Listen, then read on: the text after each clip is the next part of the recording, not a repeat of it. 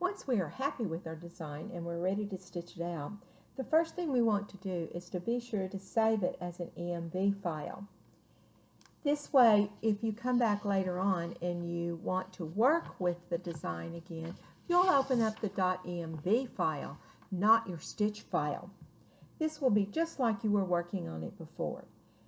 .emb is the most pure file that you can get, and you'll have all of your settings remembered in the file when you open it up. It'll be just like you've started right where you left off. You export the design to your machine format. Your machine formats cannot retain all of the information that the .emb file can.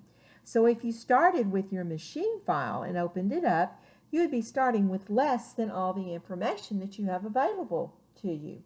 The software is really good, in fact one of the best at recognizing the stitches but it's not the same as having the pure EMB file.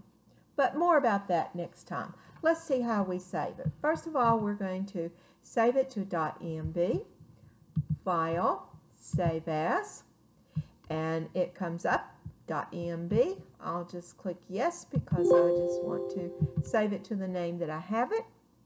I've now saved it to the .emb file, so when I come back later, that's what I'm going to open up.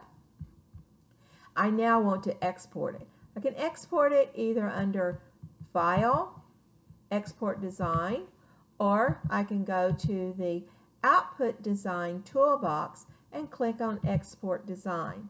Once I click on Export Design, I will select in the Save as Type, I will select the machine file that I have, this machine format that I need. And then I will click Save. Yes, I want to replace it because I already had it there. And then you're done.